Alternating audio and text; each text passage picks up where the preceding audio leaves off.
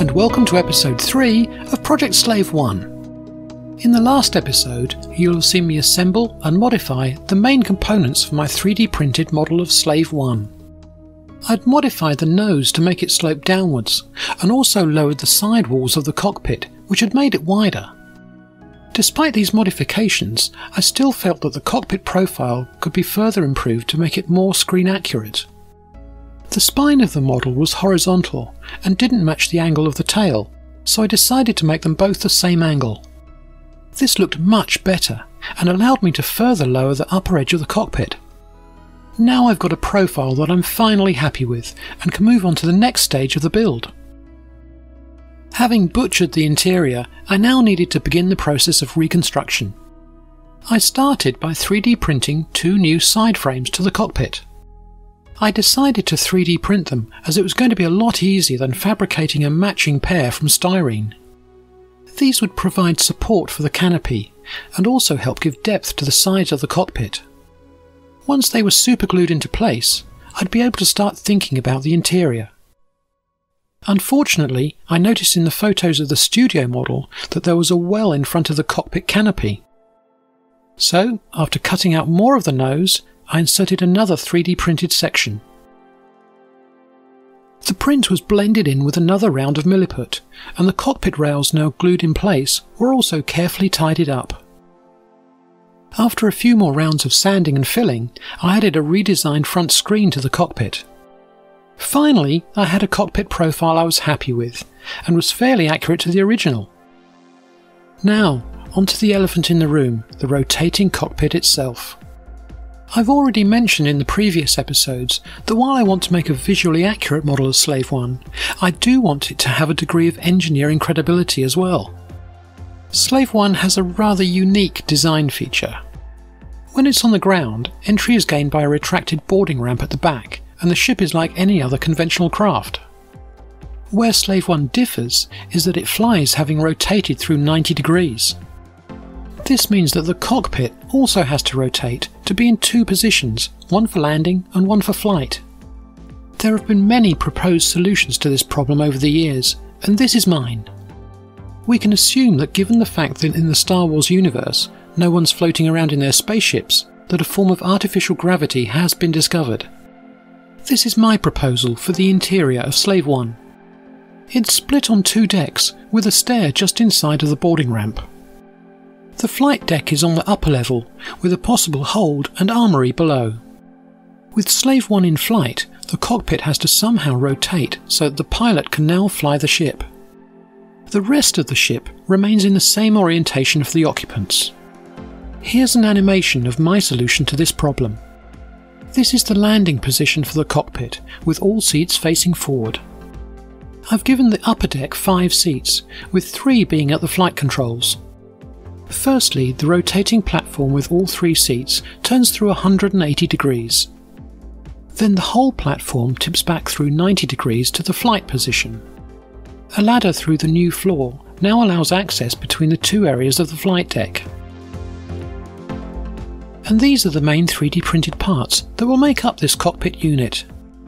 The main box already has some cutouts for detail to be added later. I could have made this in styrene, but given the amount of handling and refitting, I thought 3D printing in ABS would be a lot more durable. I'm building Slave 1 in flight, and the two parts that make up the rotating section reflect that.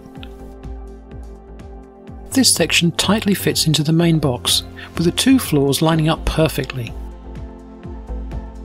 The lower bulkhead fits in the back, and the small cabin in the nose fits neatly in place. The upper bulkhead just slides in, I wanted a 1 to 34 scale figure so that I could use as a reference for Slave 1. I was fortunate to discover this 3D model from B-Rad Builds. It's an excellent recreation of Boba Fett and is perfect for my build. You can see more of the B-Rad range on the BRAD YouTube channel. There are some great subjects on there and the sculpting is fantastic. I only needed a 1 to 34 scale figure so I scaled down the files and 3D printed the parts on my resin printer, along with some other parts I needed for the cockpit. The parts came out well, with one or two needed a little attention, but I had everything I needed. After a quick clean up and assembly, I gave Boba a coat of primer, and here he is. He's my first 3D printed figure, and he came out really well. This is such a cool pose. Let's see him next to Slave 1. As you can see, Slave 1 is a decent sized ship, and Boba looks great next to it. This figure really deserves to be printed out in a decent size and given a good paint job. Well, I can do something about that. So, I fired up the printer again and 3D printed this bad boy. From the soles of his feet to the tip of his blaster, he's 185mm tall, or 7 and a quarter inches in American.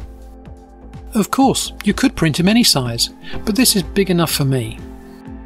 Like all 3D prints, there is a degree of filling and filing, but I think the results speak for themselves. This is such a cool figure. I'll be painting and mounting him on a base in future episodes, so make sure you subscribe to my channel to see the end result. Right, let's get back to Slave 1. For a bit of design inspiration for the cockpit, I found this concept art for the interior by Ryan Church. It has some good ideas for colours and textures, as well as the design of the seats and controls. I designed these parts in my CAD software and 3D printed them on my resin printer. The flight control console, the seat, the gun sight, and the ladders all came out really well, with lots of detail. After a bit of filling and filing, I decided to make silicon moulds of the seat, joysticks, and sight so that I could cast them in pewter. You can find out more about this moulding and casting process in my how to video series. This is how the seat is cast in the mould. I'll need five of these. And here are all the rest of the parts, fresh from the moulds and ready for a few hours of cleaning up by hand. They cleaned up well and will certainly be a lot more durable than just 3D printed in resin, especially delicate parts like the sight. I've now detailed up the rest of the cockpit parts with strip and sheet styrene This was a really enjoyable process, having a free rein to create interest on these basic 3D prints. The resin and metal parts were also tweaked to fit onto the main ABS parts of the cockpit. And this is how it looks, with everything dry fitted into place. It now looks a lot more like my original animated model.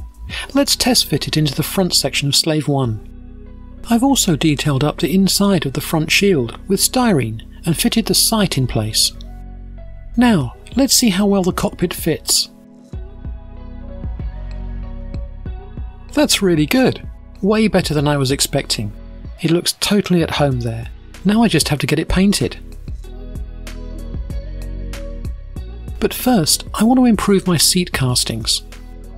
The handles on the sides of the seat didn't cast well enough, so as I was doing some photo etching for another project, I decided to add some handles onto the sheet.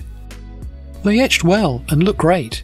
You'll be able to see my how-to guide for designing photo etching in an upcoming video, so don't forget to subscribe to catch it when it comes out.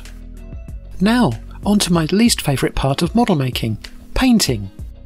Slave 1 is a bit of a minefield to paint, not least because of the crazy paint scheme, but tracking down the correct colours is a nightmare. Fortunately, ArchiveX have come to the rescue. They specialise in formulating the correct enamel and acrylic paints for the Star Wars universe, and even supply a set for Slave 1. They're very helpful and advised me exactly what to buy for my build. A couple of days later, and my acrylics arrived, just what I needed. So that I had a reference for the colours, I made up a sheet of swatches on some styrene. This would give me a bit better idea of what colours to choose to paint the cockpit. I started by giving everything a base of matte black from a rattle can, as this would be a good start for pre-shading. I also designed and printed some decals on my inkjet printer to add some extra interest to the interior. I found an appropriate looking alien font online and used it to create some maintenance stencils and markings. I also added some vents and grills, which would look fine buried within the cockpit. After a couple of evenings with the airbrush, this is what I came up with. The base colours are all Archive X. I then added a few washes with artist oils, applied the decals where they seemed logical, and then gave everything a coat of Winsor & Newton matte varnish. There are lots of great painting tutorials on YouTube.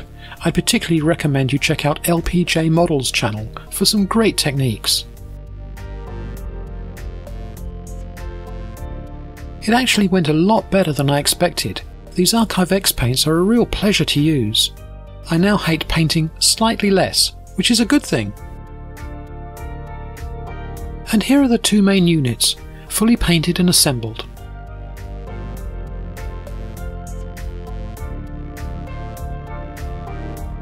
The rotating section is able to be removed from the cockpit even when it's installed into the main hull. So I'll be able to keep it safe while I work on the rest of the build without it getting damaged.